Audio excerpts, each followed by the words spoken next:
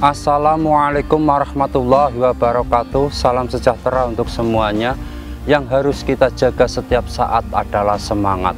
Semangat yang selalu menggebu dan membara Untuk membakar habis rasa malas dan rasa takut karena dengan semangat hati dan pikiran ini menjadi fokus dan damai. Walaupun tubuh ini terbakar panas terik matahari yang menyengat. Dan yang paling ditakutkan adalah berhenti bertindak dan berhenti berharap. Karena tanpa harapan apalagi yang bisa kita lakukan dan apalagi yang bisa kita perjuangkan. Semangat yang terjaga dengan baik akan melahirkan kesabaran dan keikhlasan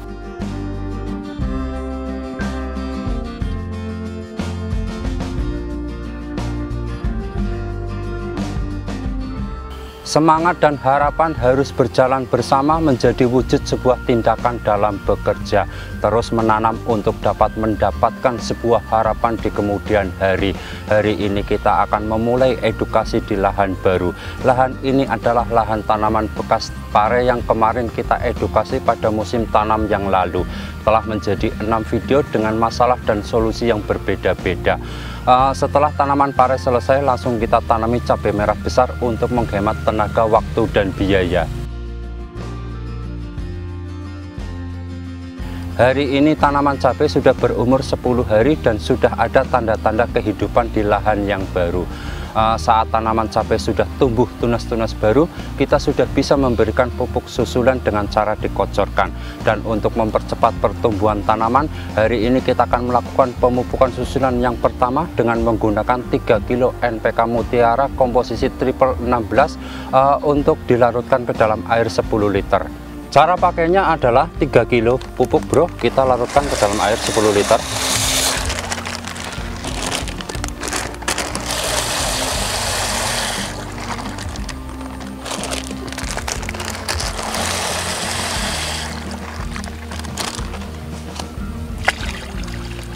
ya kemudian kita aduk sampai hancur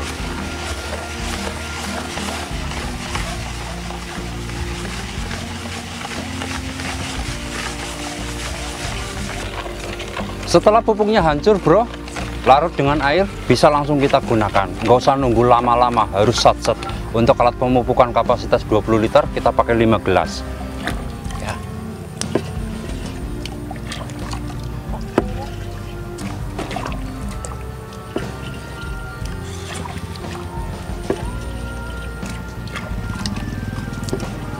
Ya kita tambahkan air sampai penuh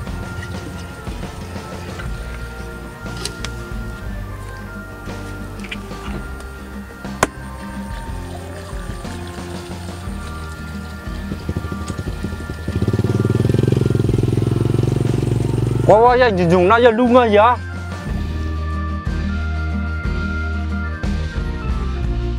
Yang terakhir, kita pupukkan ke setiap lubang satu gelas, Bro. Bismillahirrahmanirrahim ini nggak apa-apa dikasih bro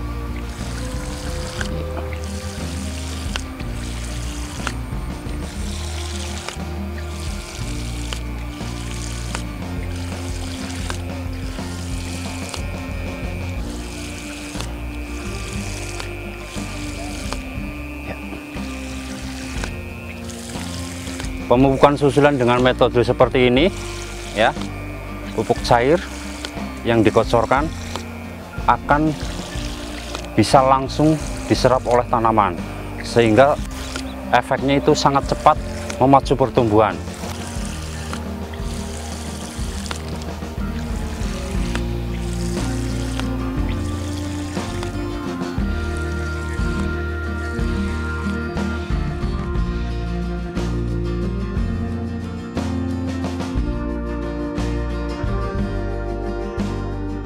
Kemudian untuk mengobati daun cabai yang keriting ya yang disebabkan oleh hama kutu-kutuan misalnya apit, tungau, kutu kebul, trip dan lain sebagainya kita pakai insektisida demolis ya. Insektisida ini mempunyai bahan aktif abamectin ya. Seperti ini, Bro. Dan dosis pertama yang akan kita pakai adalah 15 mili.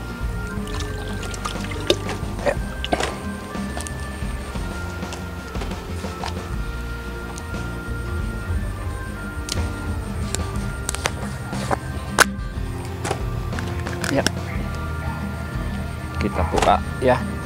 Tutupnya ada dua. Ya. sekitar setengah tutup ini bro ya. Oke kemudian kita aduk.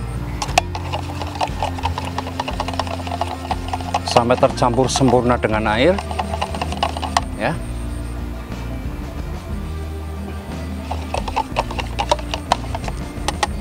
Baru dimasukkan ke dalam tangki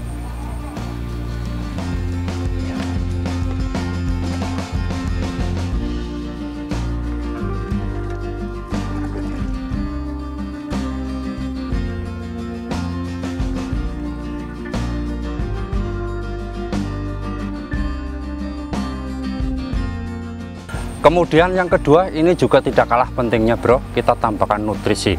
Sebuah nutrisi yang mempunyai kandungan yang sangat bagus Untuk memacu pertumbuhan tanaman dari atas. Kalau metode tadi pemupukan susulan dengan cara dikocorkan Akan diserap oleh tanaman melalui akar. Sedangkan penyemprotan nutrisi ini Akan diserap oleh tanaman melalui jaringan daun ya. Nutrisi tersebut adalah Lely 2000 bro. Ya Dosisnya kita pakai satu tutup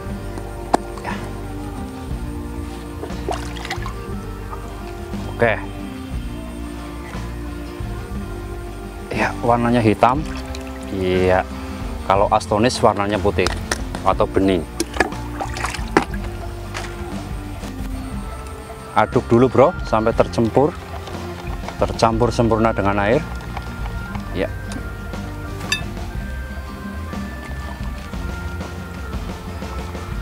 Ya, Selain untuk mempercepat pertumbuhan tanaman dari atas yang diserap oleh tanaman melalui jaringan daun, nutrisi ini juga untuk melindungi tanaman dari pengaruh buruk cuaca. Mantap banget bro. Ya. Kita tambahkan air sampai mencapai 16 liter atau full tank. Set.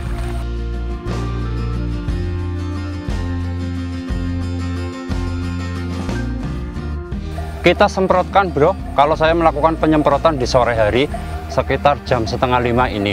Jika teman-teman ingin menyemprot di pagi hari sekitar jam 7 sampai jam 8 ketika panas matahari belum terlalu menyengat ya. Ya ya jangan lupa berdoa dulu bro. Bismillahirrahmanirrahim. Ya seperti ini